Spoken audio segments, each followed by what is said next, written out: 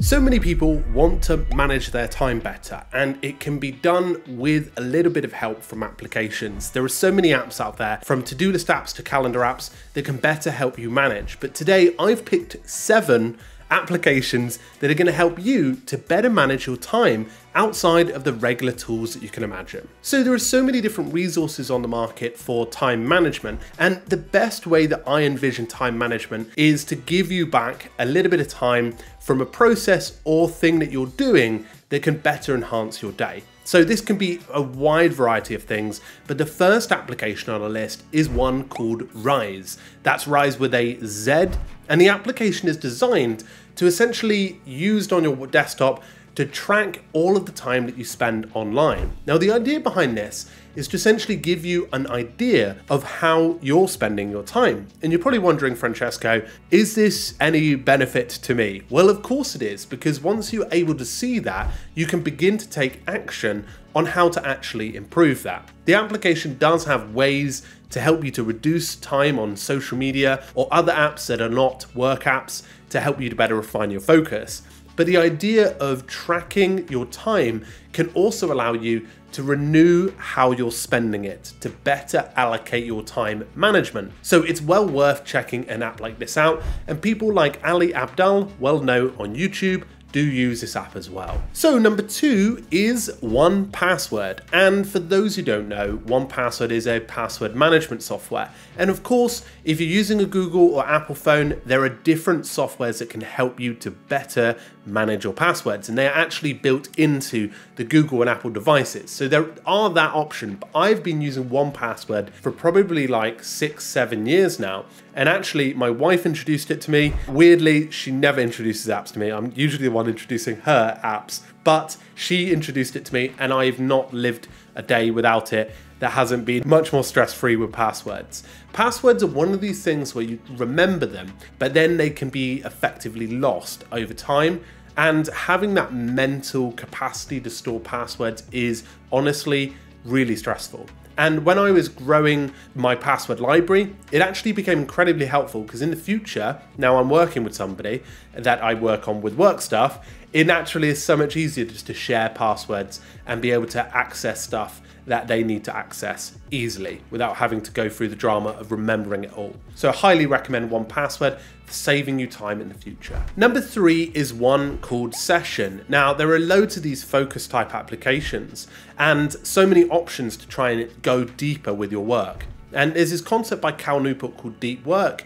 And the concept is very simple to try and get into that state where you are uninterrupted and focused on your environment and Session is, I think, a really good app for that. It's available on a wide variety of platforms, including Setapp, which is a subscription service. And what's nice about it, help you to set a timer and get into that zone, and then it provides analytics afterwards to help you to see where and how your focus is going for the day. It's a nice way to actually see and determine what you were focusing on for the day and how you spent your time, a little bit slightly different to Rize application. So if you're still with us and checking out all the apps that we're mentioning, you might want to check out our guides for each application. So for example, we've got a guide to to-do list apps, note-taking apps, and calendar apps. These can all help you to better manage your calendar app, your to-do list app, and your note-taking app. You can download them in the description below to get the insights that you need to know to optimize your apps. So the fourth one is actually taking action on how you spend your time. This app's called Freedom, and what it does is on mobile and desktop helps you to block distractions from sites that are really wasting your time. So if you want to block social media, you can set sessions or block time in a routine method. So for example, if you know you're bad at going on social media between the hours of 6 p.m. and what 2 a.m., then you can actually use Freedom to block that. And this is to really help you to reduce your consumption levels and maybe spend more time doing what matters. Number five is a uh, website or software called Flown, and the idea behind it is to improve your accountability. So if you're somebody that does an hour of work and you find that the quality of that work isn't that good, and you might need some more accountability, and Flown, what it does is it helps you to join a co-working session.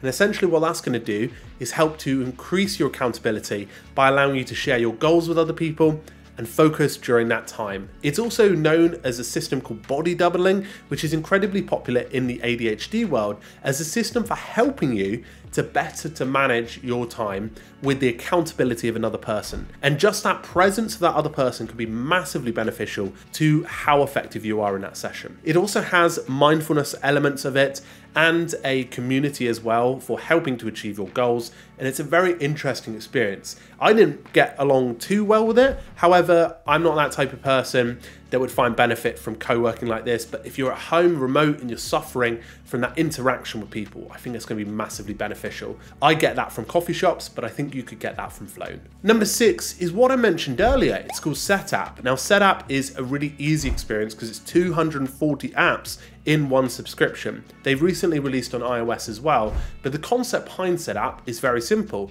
You have access to over 240 apps, and then in your subscription plan, you can access and get a hold of any of them during that time. So, for example, a little bit like Netflix, you can watch all you want and it's all packed into one subscription. So, this is great if you want to remove all those one off costs but the whole concept of time management is you can find loads of time management apps as part of the Setapp subscription. In Setapp, there's around 25 or 30 productivity apps that are dedicated to helping you better time manage. So it's well worth considering it as an option. And if you're somebody that doesn't like the one-off cost, this is a consideration. So number seven is one for desktop users. It's called Raycast, and the application is going to help you to better navigate your desktop. It's like a Finder experience, helps open it with a command bar, so you simply can search for things that matter. You can connect it with calendar, loads of different applications like Todoist, and essentially use this without having to go into those apps, sort of like a built-in search bar to your desktop device. So it's well worth considering Raycast. Many, many people are finding this application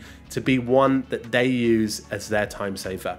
And even includes loads of productivity apps that they can access at any given time using the quick command access which is really accessible for those who love keyboard management and support. So those are all time management applications, but we've got loads more over on Toolfinder. You can head over to toolfinder.co to explore plenty more, and we're happy to help you find more options. So feel free to subscribe to us here on YouTube, and we'll see you in a future video. Cheerio for now.